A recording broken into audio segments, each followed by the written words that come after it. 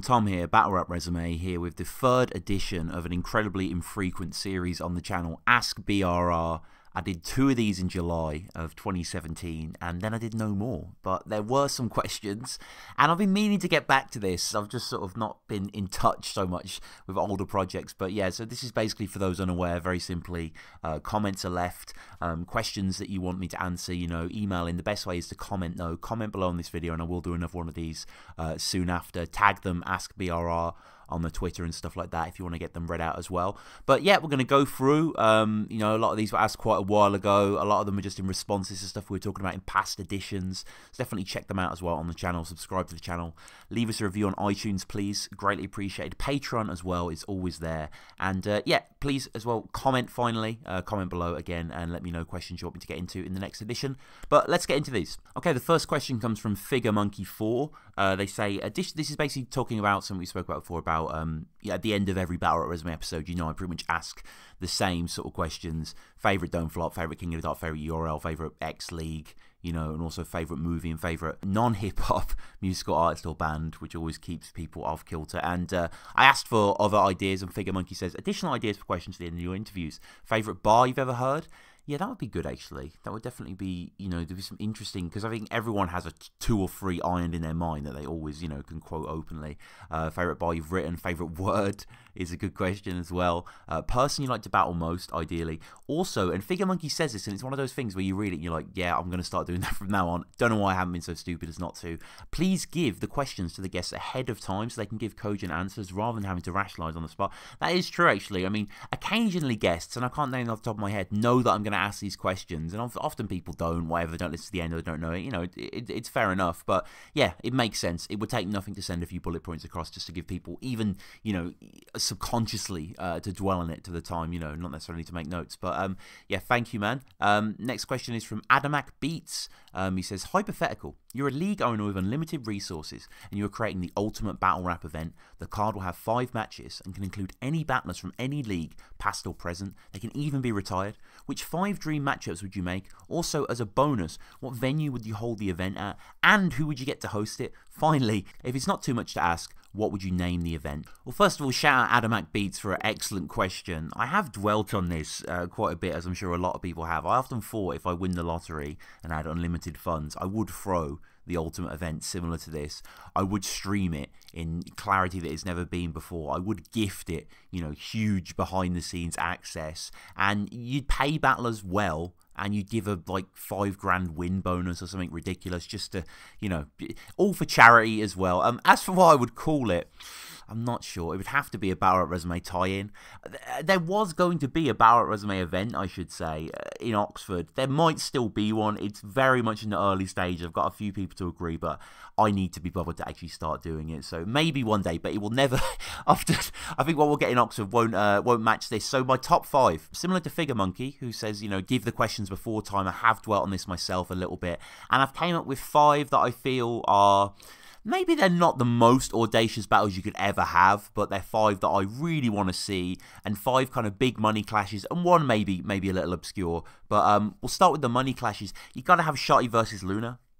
You just have to have it, like you know, you have to have it at a giant event that sort of enshrines what a monumentous thing. And for that reason, it'll be in the UK, I should say. The event, of course, I want it to the UK. Um, Fiddler's Elbow, I get it. It is the best venue that I've been to. You know, it produces the best battles. I know it's small and it, it is kind of, you wouldn't have a Summer Madness, you know, in a birthdays in Dalston. So perhaps it wouldn't be there. But, you know, ideal dream for me, uh, would be this Fiddler's Elbow.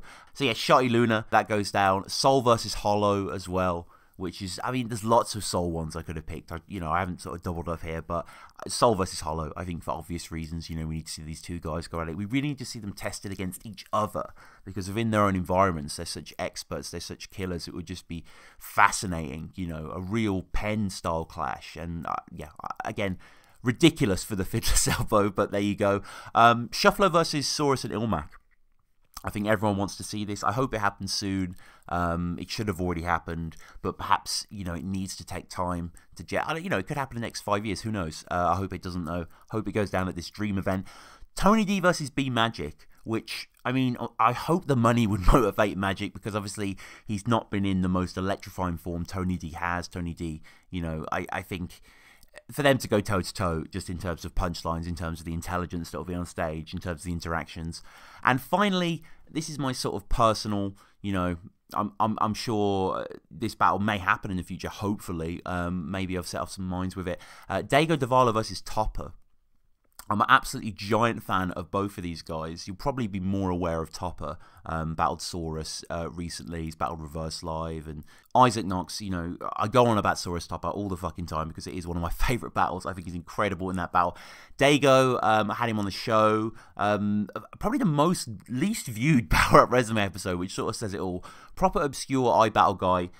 One of my favorite punches of all time. Um, definitely watch him versus Collie see the first two rounds on beast mode. Uh, definitely take him up against Reverse Live against Jay Worth. You know, um, he's Lex. He's got some fantastic material. Like uh, you know, Dago is is a different level for me. Truly one of my favorite writers out there, and I just like to see these two guys go head to head. I think this does work in a fiddlers and chalked out. If you're listening, uh, we definitely want this battle. But yeah, that would be my five. Let us know in the comments what would be your five, what you'd name it, etc., where it would be. You can even have retired. Shout out for the great comment, Adam.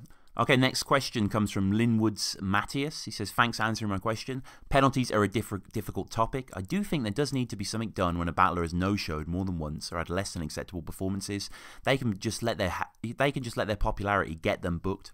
They could just let their popularity get them booked. It must be their talents and effort, but it's a difficult one. I go back and forth, and yes, it's mainly a US battle rap thing, I think, because I think it would be taken more seriously in the US, to be honest. Yeah, um, there isn't too much kind of no-show drama in the UK scene, I'd say, off the top of my head.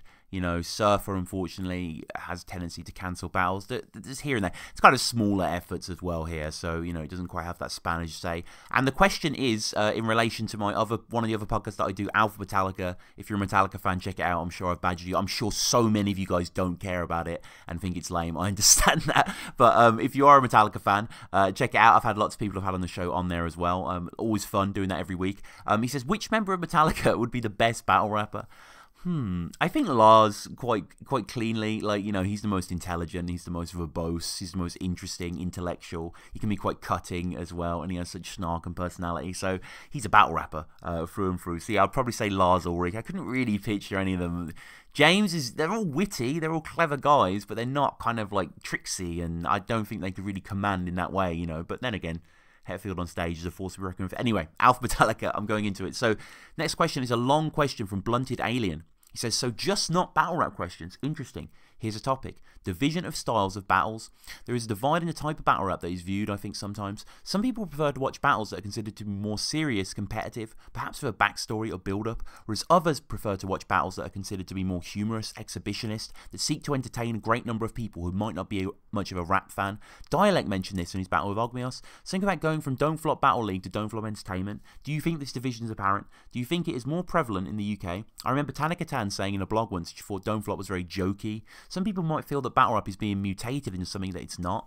There is a feeling of a farce, a circus, or comedy night about it, which is a clear departure from two guys battling each other on the block with onlookers who have concealed weapons. There are even racial undertones that come with the term, that come with the idea in terms of cultural appropriation, or sort of taking something and changing it over time to the point that it ceases to exist as it once understood. So much so, so that all these battles show on TV might seem to parody the art form, undermining a niche subcultural genre. On one side, you have URL, RBE, UW, etc., street oriented, black owned, and the owner you have real, and on the other you have Real Talk, Don't Flop, King of the Dot, King of the Ronalds, etc. Mixture of street and non-street, white owned mostly. I'm not suggesting to unpack all this, but I was just generally curious about the curious about the divide and why some people might be entrenched with their preference. I personally watch more US battles than UK battles, but I don't reject UK battles where I feel some people just reject certain battles at hand. To me, it's all just battle rap.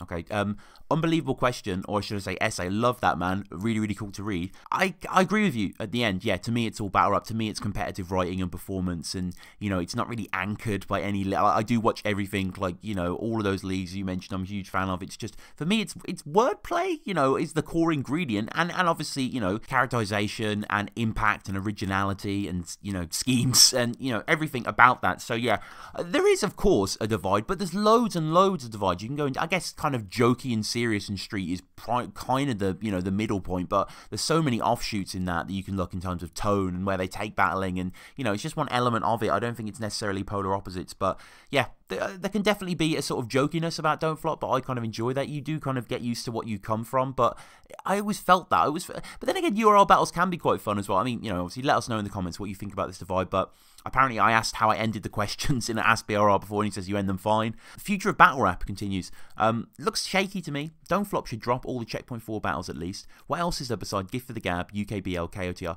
It was, it's interesting actually because this comment's I think four months ago, so it was really before any code red chalked out Premier Battles sort of announcement. But um, yeah, no, I get what you're saying. There was sort of a barren period to a certain extent there, but you know, KOTR is still holding it down, of course. Dub scandal, everyone. Rap is full. Uh, let us not forget, but you know, going forward, these huge leagues are getting involved, and there's a question coming up about those, so I'll touch on those more at the end. Finally says, I think URL battle rap resumes would do well. Um, yeah, I agree. I've got some good episodes coming up, actually. Um, well, I've got RBE's um, ARP on for an awesome episode. We spoke for an hour, um, basically covering the entire history of the league, you know, his affiliations with, you know, just battle rap in general. Awesome guy. Uh, really, just if you see any of his blogs, you know, he, he can speak with real passion and knowledge, and I love that episode. Also, Bill Collector on as well which was equally brilliant. So yeah, we've got some cool stuff coming up. Hopefully, getting Danny Myers on the show perhaps soon as well. And yeah, I've got quite a few people booked in at the moment, so I'm not kind of looking to record any ASAP. Next question's from Derida Mark. It says, anything you want to ask, not just battle rap, this could get chili flavoured. Thanks for answering, my question about future UK battle rap. I didn't expect such an in depth answer. I don't know what to say about UK battle rap. I feel that Don't Flop needs to be around for UKBR to thrive. Other leagues have got too long to go. The whole Checkpoint 4 I felt was a bit of a fiasco in terms of not being talked about before the event by vloggers and battle rap media. Well, I spoke about it at length, but I know it's just BRR. I know it's not Champion if that existed then. But you know what I mean? I know it didn't get the big coverage it deserves because there isn't the coverage there really, I think, for UK leagues beyond myself and yeah, there's not, you know, doesn't seem to get any shine. It's, it's awful. Um, top five battles has to include at least two Tony D battles. That should be like a law or something. Talk about penalties as well. And um, anyway, to get to the question, says, what do you think of hype men in battle rap? The shirt tugging, the overreacting. Does it add to the excitement? Are they helping to intensify the atmosphere? If so, is that good to your liking? Is it bad, not to your liking? Or are hype men annoying to you, maybe to people in general? Are they interrupting the battle too much, possibly making them forget or repeat lines, slowing down the battle? Do they influence drunk crowds? If so, negatively or positively. Hype men, um, I don't mind it on camera. I think if it's tastefully done, I think if the ad libs are there, you know, I remember being at a Fiddler's Elbow event where I sort of said before, everyone needs to stop being a comedian on cam. I can't remember what battle it was for. I think it was when I battled 142 on that event, um, that classic. And uh, I think he said the only people that can speak is like Soul Jitsu or something. And Soul Jitsu was gifted. Okay, it's not a hype man per se, but it's kind of a crowd interruption sometimes it can really push you in, in, in favor of the battle. I'm thinking explicitly of Bangs, uh, you know, in Dago Duvalo versus Collie. There I go again with my Dago references. He comes into the second round, perches on his shoulder, like like he's, he's beside him, pushes him throughout all his bars, you know, reacts intensely. But he's got this gifted way of listening. I can't quite explain it. He understands how bars work, and he seems to quiet down, knowing Dago's maybe he knows his bars. I don't know, but the way he was going for these long, long punches, Dago, and then kind of resting, and uh, yeah, you're gonna have to see it. I'm, i might put a clip in here just to give you an example of his interruptions. Get all up in your face, Ed. What you gonna say, man? The reach longer than the green monster from Space Jam. Oh! And that's a reach. The tall one from Space Jam was blue, and you just a random fruit on every level. And I'm Crash Bandicoot. Oh my god! Oh. The Kinect bin stable. The frog got twice the game, boy. That's a link cable. Oh, oh my god, oh. But it can affect footage. And I've had direct first-hand experience of going to see one of the one of the best battles I've ever seen live, which was JB versus Dank Schrader at the inaugural Rapping It Jack. Awesome event that was. Um, great weather, uh, so many people there. Uh, the, I think it was. I remember speaking to Shakespliff, I think I said uh, this on another episode where we did. He sort of recognised my voice or something, and he told me that the podcast volume was too low, but he listened to it at the gym or something on the train, or he couldn't listen to it on the train. I don't know, something like that. So it was kind of a delirious thing for me for people to actually be recognising the show, and the battles were incredible, especially JB versus Dank. The Saurus recognised JB versus Dank, which is just an absolute delight. You know, I think both of their first rounds and maybe JB's third as well are just some of the best stuff I've ever seen live. You know, the crowd was rowdy. You know, the crowd was a KOTR backing crowd. Shout out those guys. Obviously, got so much love for all of the KOTR crew, but you know, despite Mickey's protest, but um, you know, they were pushing Dank like hell, and he was getting interrupted. He's a very calm guy, and he wasn't necessarily detracting from his performance at all. But there was an awareness watching this live that oh, this might, you know, this might unfairly balance the battle. This might lead to some agitation, some spite from the commenters, you know, towards the interruptions because he was getting pulled, he was getting grabbed, and it came from a long lineage of that. You know, I'm thinking especially of Spit That Heat. You know, he would really grab um, Craig Lamar's collar, you know, and rise it high as Trez as well. Like it it's just kind of quite quite startling to see that initially. Um, but it's kind of been going forward since you know the beginning of time. Really, patting someone on the back. It's just a logical mutation of that, and um, it doesn't annoy me really uh, to answer your question. Um, I like it for the most part, but seeing the comments on Dank versus JB eventually come out, and they were all talking about how gas Dank was, which he I mean, he was a Gab, but like he wasn't, you know, his material that was. It was just maybe a bit of an over interaction there. Uh, Blazing Fifty says, "Never thought I'd hear someone say baked tatey in a battle," which is true actually. Um, Ain't your day if I'm snapping. Still one of my favorite bars. The delivery on that out of this world. Um, but yeah, the top comment basically saying that Dank's hype men need to lay off the red cordial and have some time out, which is a uh, is a very very very nice way of. The man Ben as well says Dank was great, but he's been a bit overhyped, which you know I don't know, but yeah, unbelievable, unbelievable battle. So in terms of them, I don't mind them. It doesn't seem to be that prevalent yet. I think Bracy gets some hate sometimes in the comments, and I don't know. I feel like every league needs a hype man for some reason. It just adds a certain annoyance that everyone loves to despise. Ryan Crouch comments next. A few suggestions I'd like to see for episodes. Top five rounds of Tony D. That's a good suggestion, actually. I would like to do that. Um, me and Def are going to be doing top 10 rounds of Sora soon. Um, so definitely check out that episode. That should be cool. Um, top five or ten on beat battles with Press One. Oh, that's a good suggestion. Yeah, I, would Press come on to do a co-host like that? Maybe. I'll, I'll, I'll, reach out to him. But that's a really good idea for an episode. Uh, thank you, Ron. I'll definitely do that. Uh, more battle tapes. Yeah, I haven't done as many so far. So we did. What did we do? We did Kruger's uh, Lazy EP and C Major's 10,000 Hours with Dave. Shout out Dave, obviously an icon. Um, and episode three, Michael Orlands and myself did Ogmios's last picnic. So yeah, what, what else do you want us to do? Um, let us know what sort of battle of music you want us to review in the comments. Uh, you know, and we'll do that. Uh, recaps on old events, um, such as Sunburn 2, fifth birthday, Checkpoint 2, Verdict to the Test 10. Yeah, um, just recorded a two-parter um, with Kieran Keller, the famed fan. Uh, awesome guy. Love that episode. On fourth birthday, we did every single battle, both days, two episodes. Definitely check that out. And maybe another title contenders episode. Yeah, that was a great episode with Craft. I mean, it's a bit more difficult now because it's so disseminated. It's hard to predict where, you know, Shox is the title holder of Don't Flop, but what is Don't Flop? This grime clash YouTube studio fic. Like, you know, it's kind of confusing to a certain extent. So if there's like a code red chalked out champ, whatever, we can sort of, you know, can move forward with that. Obviously, KOTR uh, Lazy is the newly crowned champ. But um, yeah, shout out Ryan. There was some great suggestions for episodes. Um, next comments from Igor Wig. He says, shit, mate. I didn't realise the Callum episode had been taken down. Such a shame. That was a great episode. Anyway, really appreciate the amount of work you're putting in these days. Much respect. Thank you, man. Yeah, the episode was taken down, unfortunately. But it was a great episode, and you know anyone that's listened to it can kind of reminisce on there. But yeah, um, shout out Callum though as well. The success of him and Unilad, and you know all the guys uh, over at Unilad is incredible to see. But yeah, thank you, man. Um, Doc Evil says, "Do you think there's any racism in Battle Rap?" BCHQ did a video on it. He mentioned that the white battler Joe on URL was looked at someone who couldn't be taken seriously. Also, he mentioned that some people made negative comments about the skinny white guy in his sweaters who's always on the URL stage. There is a, there is a suggestion that white guys don't get bigger matchups, like Real Deal has been waiting for a big play on URL, but arguably hasn't received it. Um, I mean, just to answer those accusations directly, in terms of Joe, obviously had the Joe on the show recently. That I love that episode. Homes of the God Battle sort of contradicts that because you know he was taken really seriously um, on that, and the praise was you know over the top, rightly so. Um, franchise battle was also very good. I was speaking to him on the show, and he's got a big battle coming up as well. Uh, I don't want to give it away, but yeah, really big battle soon. I think it's like on another Born Legacy or, or one of those sort of cards. Um, real deal. I mean, you know, he's battled Averb, and he's he's battled some fairly big names on there, and you know he's had some good lucks, and you know Reaper Rail battle recently as well was an awesome showing for him. Um, it talks about the Shox the Rebel total defense as well. Should that be talked about? Um, Don't Flop really killed off the checkpoint. Next question is from Johnny Guns. Johnny Gunn says, would definitely be good to see some URL battlers interviews, which, yep, we've said we're going to do those. Uh, I thought it'd be niche.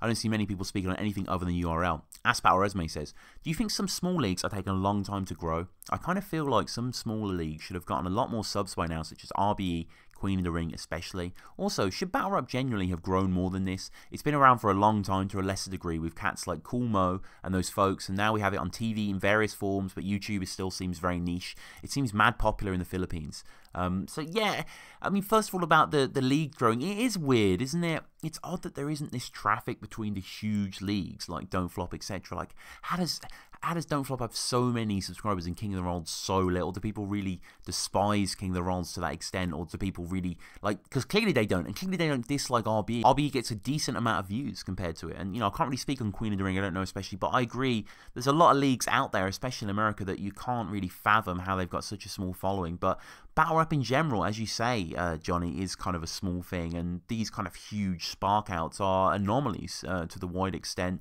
Um, Best use of props, which is I think an episode I must have mentioned in the previous one. He says sounds interesting. He remembers one dude was boiling an egg or something.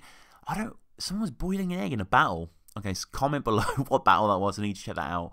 First name, last name says, Hi, it's Mike here. Thanks for reading out my email. If you ever do an episode reading YouTube comments, please feel free to read this comment out. Big up, still enjoying listening a lot. Thank you so much, Mike. Next question is from Tanya Kennedy. What do you think about ring card girls in battle rap? Some leagues do them, but I think most don't. Does it lend itself to the gladiatorial atmosphere appealing to baser instincts like in MMA and boxing and so forth? It seems to make sense in physical combat, getting the contenders in their beast mode. Or does it seem weird or or does it seem weird for a non physical competition? Or is it just a chance for a battler to take a final sip of water or look at their phone for their bars before getting into their round? Side note, I remember Gattus as a lesbian enjoyed it when she battled Miss Hustle.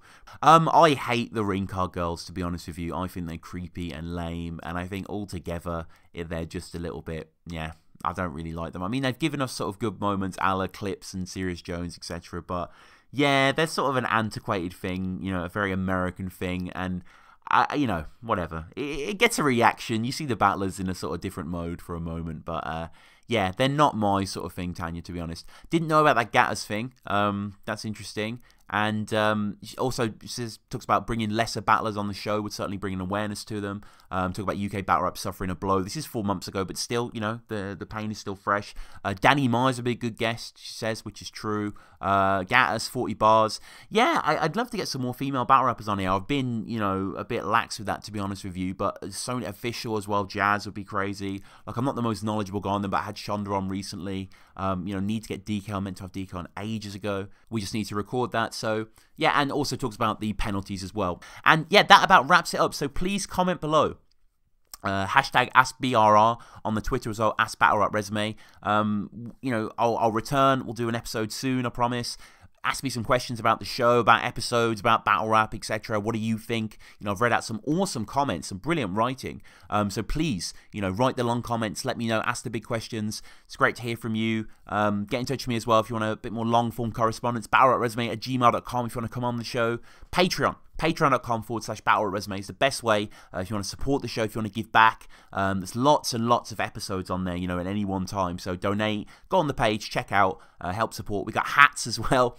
We are selling merchandise. Uh, we're doing brr beanie hats at the moment. Caps and stuff are coming soon but the hats are just there at the moment. Uh, a lot of hat cat rhyming but um, there's a tier on the patreon and if you want to just buy one and get it delivered to you, there's a link in the description on the Big Cartel shop. Um, there should be enough there. Uh, I don't know how quickly they're going to sell out, but uh, hopefully quite quickly. But um, yeah, check them out. Thank you so much for everyone supporting the show, listening to the show, caring enough to comment in, and you know sticking with the show. Not you know I don't know what I mean by that, but subscribing, uh, leaving reviews. Uh, thank you to everyone who supports on the Patreon. Thank you to everyone who listens, everyone who downloads from around the world. Thank you guys so much. Um, this is Tom. This is Battle Resume. Thank you.